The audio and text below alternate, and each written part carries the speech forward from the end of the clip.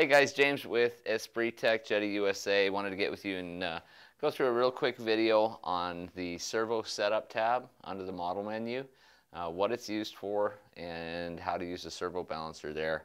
I've set up our demo model here in the radio as a two flap, two aileron ship. We're actually going to set it up uh, with four ailerons, two flaps, uh, by duplicating the aileron ones and duplicating the ailerons two.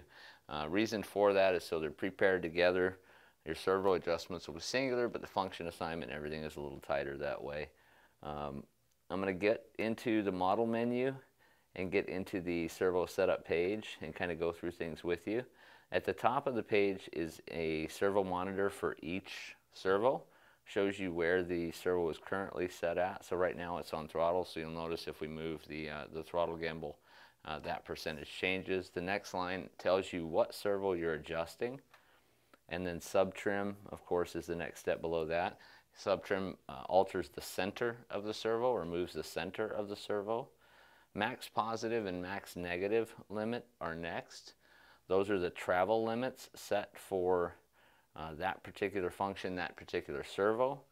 And then max positive limit, max negative limit is the overall travel available. So if you have a multi, multi-purpose or multiple functions assigned to a single servo, uh, this allows you to set limits on a single function and still have the over travel like if you're using butterfly, your ailerons are, are deflected to the max limit. The max positive limit also allows the over travel in the aileron function. All of those can be adjusted by selecting that particular parameter and turn in your function wheel uh, to change the percentage. Um, below that, you'll find the reverse for that particular servo. Uh, it's real simple. Click on it, turn the wheel left, turn the wheel right, changes from no to yes.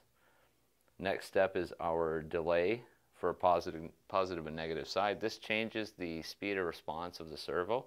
Uh, most of the time you won't need this. There are certain scale type applications where you'll want to slow down a servo function. Uh, that can be done in the delay positive negative.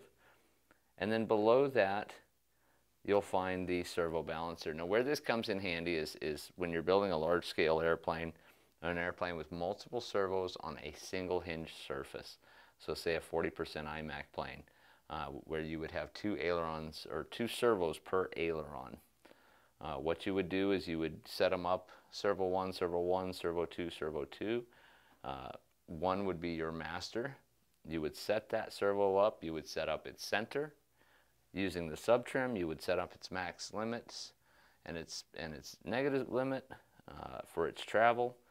Uh, and then you would set your expo and your rates the way you want it. Then you would use servo 2 as your slave servo and you would go through and set the same limits that you set up in the, in the first servo when it was connected to the surface itself. Uh, once you were there, in order to verify all of the points in between the max, the center, and the minimum, you would use the servo balancer. And the way you do that, we're going to go ahead and scroll through. I'm going to uh, go back to our aileron to give you an idea.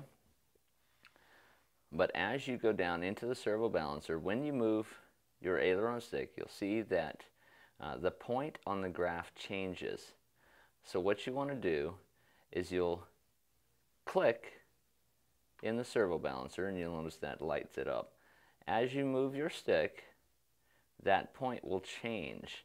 If you want to work on a specific point, you move the gimbal to highlight that point. Click the lock button which is function 4 below the screen and it will actually lock that point there so you don't have to try and hold that stick in a position and turn the wheel. Once you have the point you want to adjust locked, you just turn your function wheel, your 3D wheel left or right. That will change positive or negative on that particular point by up to 10%.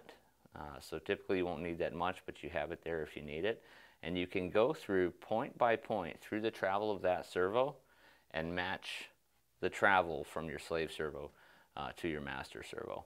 If you have any questions on this, just like anything else you see here on these videos, don't hesitate to reach out to Esprit Model or Jeti USA. This is James, and uh, thank you.